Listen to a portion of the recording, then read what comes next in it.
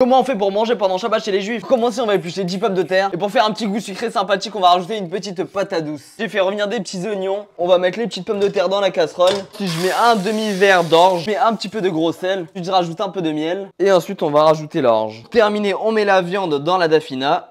Et maintenant elle est prête. Je commence à la cuire maintenant pour pas qu'elle cuit pendant Shabbat. Et ensuite, juste avant Shabbat, je vais la mettre sur ce qu'on appelle une plata. C'est ce qu'on appelle une plata ou un blair. Et en fait, on va mettre ça sur le blair et ça va cuire tout Shabbat. Et du coup, la plata, elle va rester tout le temps chaude et comme ça, bah moi, je vais pas allumer le feu pendant Shabbat. Moi, par exemple, je vais manger ça à demain midi. Du coup, ça va chauffer jusqu'à demain midi et après, je vais mettre un minuteur qui va éteindre la prise automatiquement. Et comme ça, j'aurai pas cuit pendant Shabbat et j'aurai pas éteint le feu pendant Shabbat. Parce qu'en fait, vu que pendant Shabbat, on peut pas cuire, du coup, il faut un plat qui puisse cuire depuis vendredi soir jusqu'à Shabbat midi. Parce qu'en fait, on va le cuire avant Shabbat, donc vendredi soir, et il va rester sur le feu jusqu'à samedi midi. Et si par exemple tu fais du riz ou des pâtes, bah ça va cramer. Donc là, on va faire quelque chose à base de viande et de pommes de terre. Et c'est un des seuls plats qui peut cuire toute la nuit de soir sans cramer.